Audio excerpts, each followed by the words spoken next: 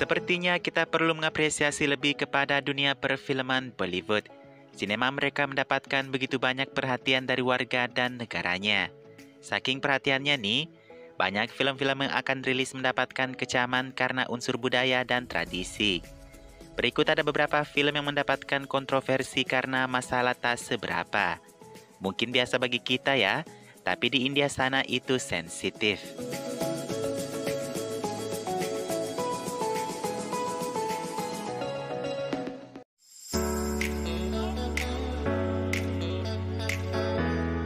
Gimana nih perasaan kamu kalau nonton film lihat pria tua mencium gadis muda? Ya, pastinya sedikit ilfil dan sedikit jijik ya kan? Begitulah penggambaran film Nishab di mana Amitabh mencintai, bahkan mencium jia teman putrinya sendiri. Nah, klimaks cerita film itu saat istri dan anaknya tahu ayahnya mencintai temannya sendiri. Menurut Partai Kongres di Uttar Pradesh, film Nishab mencoba melawan tradisi dan nilai-nilai India. Seluruh cerita film dikritik apalagi bagian ciuman Amitabh dan Jiakan. Ada juga protes besar di Allahabad karena film yang memang cukup menjijikkan ini. Kisahnya sih modern, tapi modernnya kelewat batas toleransi ya kan?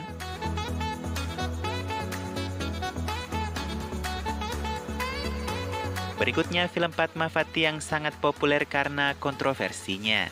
Ada desas-desus kalau Sanjay akan memasukkan satu adegan yang mana akan mencoreng Ratu Fatmawati yang sangat dihormati.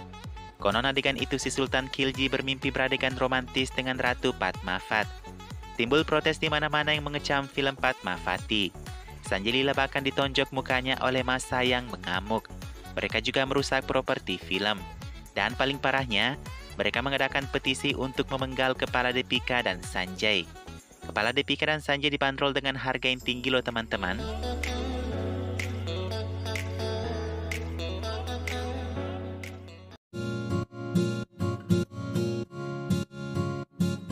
Salah satu rilis terbaik Amir Khan tahun 2006 setelah Fana ada Rang De Basanti. Harus diakui memang Rang De Basanti ini dari segi cerita pasti menuai kontroversi. Ceritanya tentang anak muda yang ingin membuat film revolusioner berdasarkan kisah nyata antara India dan Inggris. Nah wajar saja dong kalau ada keluarga tokoh besar yang memprotes karena kurang sesuai. Tapi apa menurutmu menunggang kuda benar-benar harus diprotes? Adegan akhir Amir Khan naik kuda ini dipotong dari film karena ada protes dari Dewan Kesejahteraan Hewan. Kata Dewan itu, Amir belum mendapatkan izin naikin kuda dan melanjutkan syuting. Wah, sekarang ada surat izin mengemudi kuda juga ya di sana.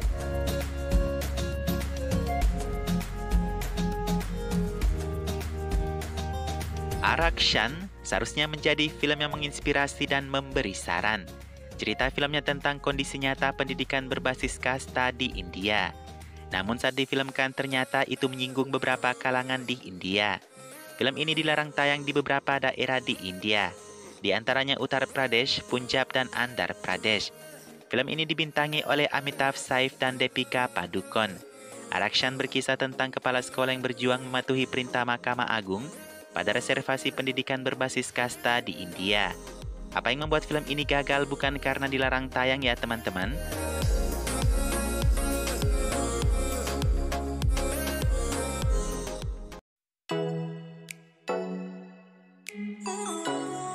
Apa jadinya kalau Malika Sherawat bertemu dengan Emran Hashmi di satu film?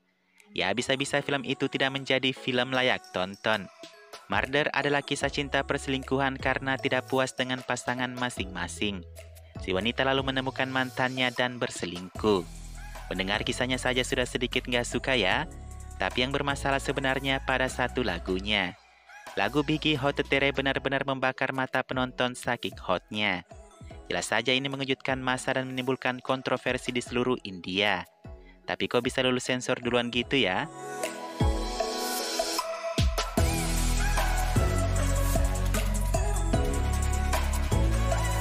Ini adalah salah satu film terbaik Kajol dan Shahrukh Khan. My Name is Khan bercerita tentang muslim yang berjuang membuktikan dirinya bukan teroris. Mungkin ceritanya bisa saja mengandung hal-hal sensitif, tapi protes yang timbul bukan karena alurnya, Melainkan sebelum rilis film itu, Shah Rukh Khan berbicara inginkan atlet kriket Pakistan untuk timnya. Sudah ketebakan apa masalahnya? Iya, itu karena masalah intoleransi beragama lagi. Shiv Sena melakukan protes yang panjang kepada Shah Rukh. Akhirnya film menemiskan dijadikan sasaran bagi tokoh politik itu. Mereka mengancam menunda waktu rilis My Name Is Khan. Untung film sebagus ini dirilis ya.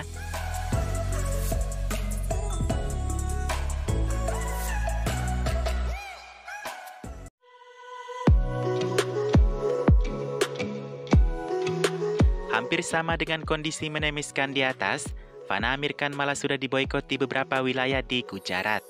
Amir Khan sebelum perilisan film Fana, ia menentang program penggusuran rumah warga untuk bendungan air bersih. Berita perlawanan Amir Khan ini cukup ditentang keras oleh pemerintah Gujarat. BJP yang berkuasa di Gujarat saat itu lalu melarang pemutaran film Fana di daerah tersebut. Bahkan nih, untuk semua yang berkaitan dengan Amir Khan diboykot di sana. Tapi meski begitu, protes itu tidak menghalangi film Amir ini sukses di box office. By the way, Amir ini banyak sekali film yang kontroversial ya.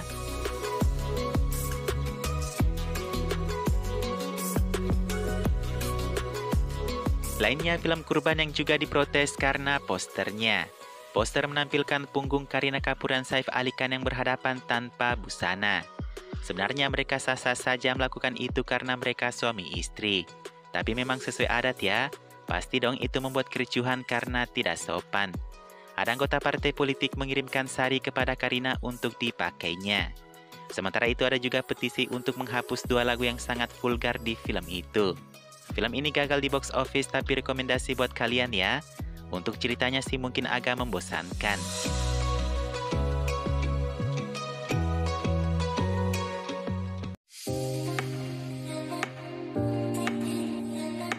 Dari judul ke lagu hingga nama pemeran di film, film Golio Kira Ram Lila diprotes di beberapa wilayah di India. Di Mumbai ada protes untuk mengubah judul film. Di Rajkot ada tuntutan mengubah kata-kata provokatif. Kemudian di Indore penonton meminta bioskop mengeluarkan film itu. Isinya banyak mengandung hal-hal kontroversial katanya. Dan itu melukai perasaan komunitas agama tertentu. Di Jalan Dar mereka meminta menghentikan pemutaran film Ramlila.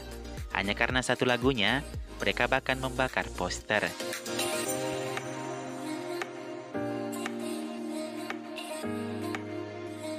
Barfi dari Priyanka dan Ranbir adalah salah satu film yang wajib untuk kamu tonton.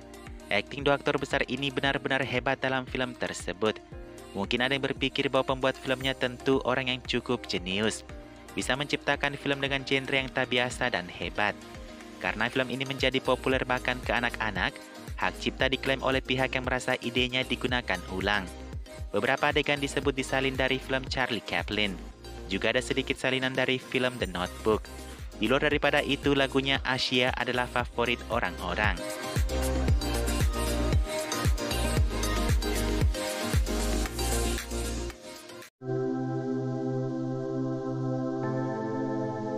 Film ini adalah film blockbuster tertinggi kelima film India dengan penghasilan tertinggi. Sangat banyak pesan yang bisa digali dari film ini, terutama untuk pesan agamanya. Ya, seperti yang kalian ketahui, poster film ini sedikit berbeda dari inti cerita film. Amir Khan berpose tanpa busana dan hanya ditutupi radio. Ketika poster itu dirilis, banyak aktivis sosial yang mengecamnya. Seperti biasanya, itu tidak sesuai dengan tradisi adat di India. Apalagi acara Amir Khan Satya Meva Jayate sangat menginspirasi kehidupan sosial. Poster seperti itu hanya akan menciptakan pemikiran yang salah pada keluarga dan anak-anak katanya. Mungkin benar juga ya, lagian emang alien gak pakai baju celana gak sih?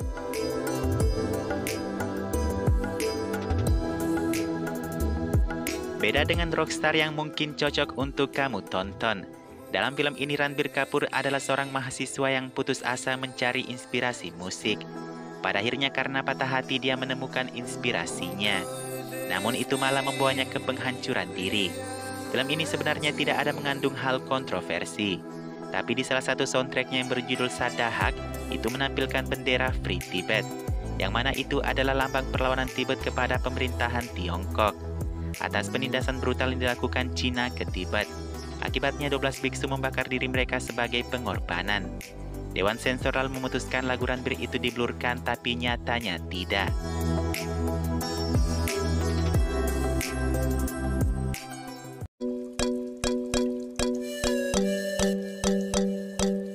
Film ini mungkin gagal di box office, tapi ini cukup rekomendasi buat kamu tonton ya. Hadir yang dibintangi Syahid Kapur banyak juga menuai kontroversi nih. Pertama masalah sentimen pada komunitas agama Hindu. Salah satu soundtracknya yang berjudul Bismil di latar kuil kuno Kashmir digambarkan sebagai sarang setan katanya. Selanjutnya penggambaran Angkatan Darat India yang diperlihatkan sangat kejam. Sementara tentara sangat dihormati oleh warga India faktanya. Untuk itu film Heather ini menghadapi pemboikotan.